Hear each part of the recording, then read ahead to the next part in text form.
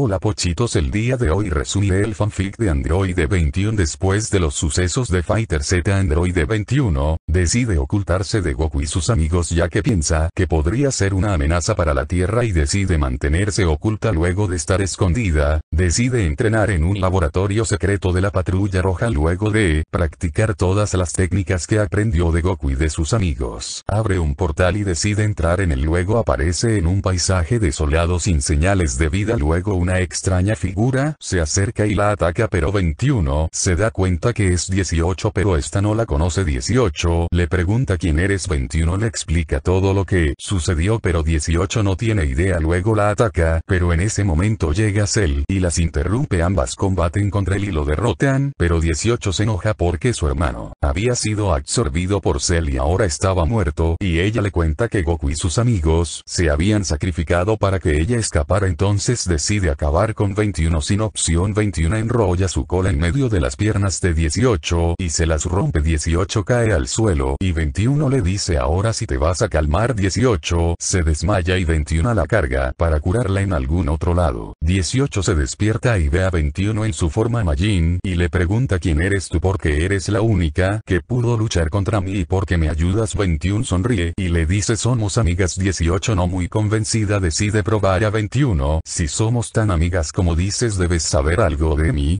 21 le dice no mucho eres una persona reservada lo poco que sé. Es te casaste y tuviste una hija llamada Marón con un chico llamado Krilin, 18 le pregunta te refieres al pequeño calvo que me intentó ayudar contra Cell, eso fue hace mucho tiempo si su sacrificio me ayudó a escapar pero Cell sobrevivió y me persiguió por mucho tiempo, siempre viví escondiéndome de él y acabando con los humanos que estaban en mi camino ya que Cell los absorbería y decidí que ningún humano debería sufrir ese dolor desde que de él nunca tuve una vida plena pero gracias a ti por fin me libre de ese monstruo y tengo algo de paz.